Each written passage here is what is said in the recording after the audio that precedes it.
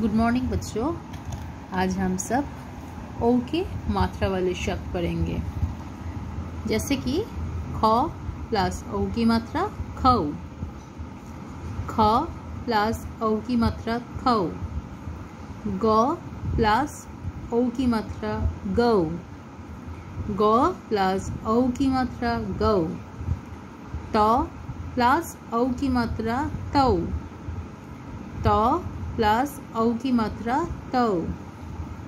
जौ प्लस औ की मात्रा जौ।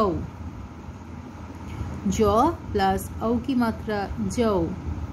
म प्लस औ की मात्रा मऊ म प्लस औ की मात्रा मऊ फिर द प्लस औ की मात्रा दौ।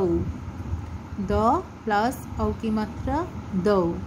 तो बच्चों, ऐसे ही आप लोग घर में आपकी किताब में, जैसे कि लिखा है, चौ प्लस औ की मात्रा। यहाँ पर भी चौ प्लस औ की जो मात्रा होता है, वो लिखकर आपको समझाया गया है।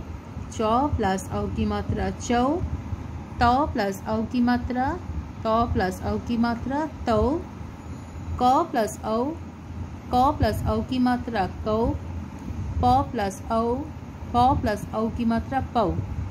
तो ऐसे करके आपको घर में पढ़ना है और समझना है। तो बच्चों, आशा करते हैं कि आज का जो शिक्षा हमने पाई है, आपको समझ में आया। आप लोग घर में ऐसे ही औ की मात्रा वाले अक्षरों और शब्दों को पढ़कर अभ्यास करना। ओके? Thank you